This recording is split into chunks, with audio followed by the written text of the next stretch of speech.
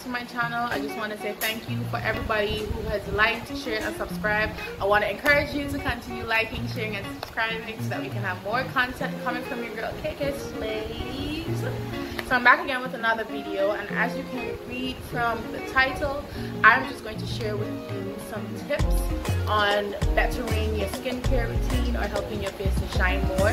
This is going to be a two-part video because i have my phone here looking at my nose. I do have 12 tips so i'm going to split them up for you guys. I'm going to do six now and of course six in the second part. So after i did my um, clean and clear review I really thought that I should help in order to help people with the little knowledge that I know because I do not like claim to be like a skincare whatever it is um, I decided to just some of the tips that I use that I have that have worked for me and could work for other people like I mentioned if you watch my previous videos that I do have sensitive skin so I do pay very attention very close attention to the products that I use and the products that I put on my face to clean my so because of that, I have come up with some tips and tricks along the way to ensure that my skin is indeed healthy and how to avoid breakouts and those kind of things.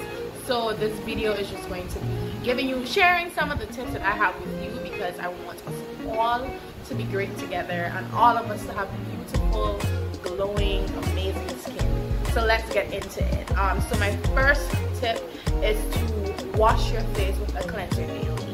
Um, you can throw water in your face when you're bathing, but it's always important that you use a cleanser. Why? Because when you wash your face with a cleanser, a cleanser is able to go deep into your pores and really clean out that dirt and grime buildup that's in your face. So if you have a cleanser, you're able to truly wash your face and get and that gets rid of all the dirt. Because you know if you have dirt buildup or oil buildup on your face, then that can lead to acne and breakouts and all that kind of thing. So you want to make sure that you wash your face with a cleanser. And of course, the cleansers that target acne, these kind of things. If you wash your face with a cleanser like that and you have acne, then you are literally hitting the nail on the head washing your face with a cleanser. So if you haven't as yet, add a cleanser to your routine and see the difference it makes in the healthiness of your skin. I'm looking down because I got my phone with my notes.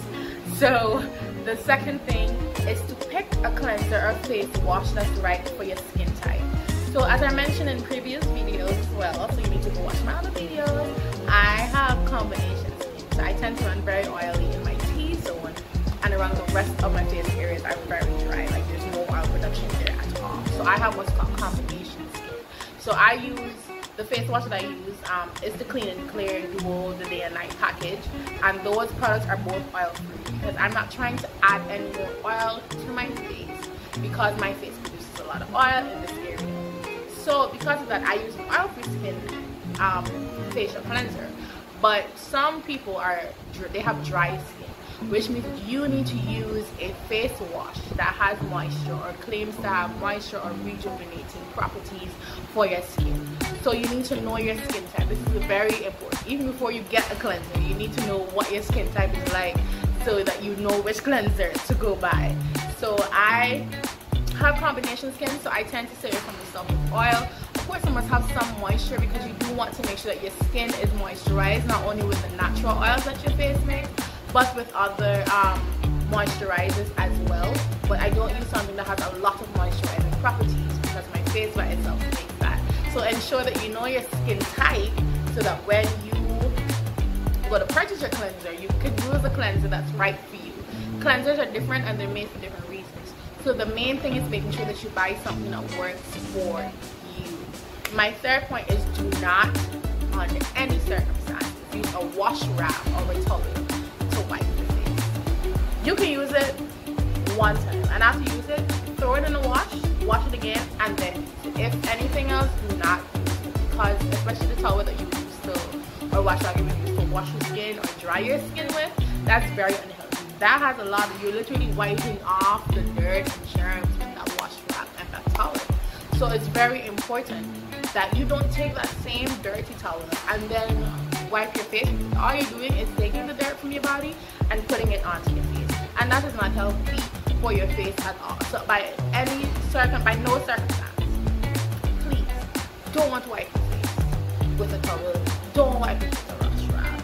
So what I would recommend is my is using what we guys call every paper towel bounty.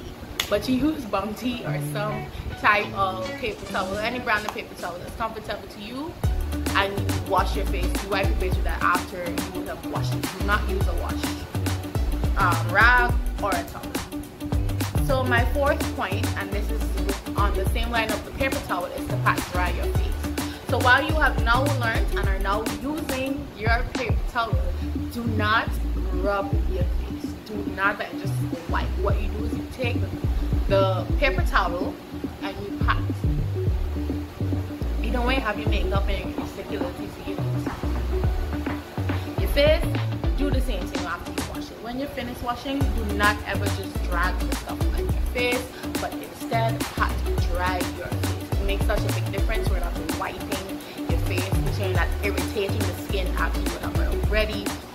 washed it. So just go ahead and pat dry your face. My fifth point is to always moisturize your face once you're done. Like I said, some moisturizers do have, um, sorry, some face washes do have moisturizing properties, but a lot of them can leave your face, some of them leave your face very, very dry. Like as soon as you're done, you have to put moisturizer. Some of them do not necessarily leave your face as dry, but you feel like there's something missing after using this product. So you have to ensure that even if it has, even if you have dry skin, so you use a facial cleanser that has moisturizing properties, it's always important to use a moisturizer. Find some kind of lotion. They're all good lotions out there. There's Aveeno, there's Lubriderm, Pond's, there's Olay, whatever brand you like, use it. But make sure that you wash your um, you moisturize your face with that once you have done washing your face you need to put back the um the moisturizer that you want to take off because remember it's cleansing your face. So while it has some moisturizer properties going to make your face nice and smooth and clear and all that good stuff. You still have to make sure it has moisture because if your face is dry it can lead to cracks and patches in your face and that's what we're trying to avoid right? And my sixth point and my last point for this part one of the video is to use SPF so what this means, SPF by the way, is sunscreen. So there was this myth that I knew growing up, and I'm growing up, and I'm sure a lot of persons are growing up, with that black people or people with melanin don't necessarily need to wear skincare. Not skincare, what am I saying? Don't necessarily need to wear sunscreen. And as I grew older, I realized that that was a myth within our community. Sunscreen protects us from the UV rays from the sun. So why would we not wear it? Um, Huh? Somebody tell me. Anyway, um, also comment below if you grew up thinking that because you were dark, you did not have to wear sunscreen. Anyway, so sunscreen protects us from the sun. So it's very, from the sun's rays. So it's very important that you wear sunscreen. One, I mean, right now we are home, we are inside, so we're not going on the road as often. But once you know you're going to be in the it doesn't even matter if you're not going to, if you're going to work, if you're going to church, whatever it is, use sunscreen. What I recommend, I would use Olay, which has um, um, SPF 15 in it. So I would recommend if you do not want to layer um, sunscreen and then moisturizer because that can become thick and very uncomfortable for your face, then buy a moisturizer that has sunscreen in it. I can recommend 15. That's also very good for me. There's also this locally made cocoa butter um, in. If I can find mine, I will like insert a picture here and um, that has SPF 15 I think as well and that's very I bought it on the store on Regent Street I can't remember the store it's an Indian owned store um, but yeah and the product was locally made well as well and it had SPF 15 so please remember to use your sunscreen it protects you from the sun's harmful rays and of course the sun um, rays on your skin can dry your skin crack your skin you do not want those things. so thank you guys for watching part one of my video. I'll be back next week with part two so please ensure that you stick around. And of course if you like this video then leave a like comment let me know if you do any of these tips comment and let me know if you incorporate any of these things into your skin routine. And of course please subscribe to the channel. I can only be here can continue to make content if i have people watching it. So until next week. I am your girl, KK Slaves, saying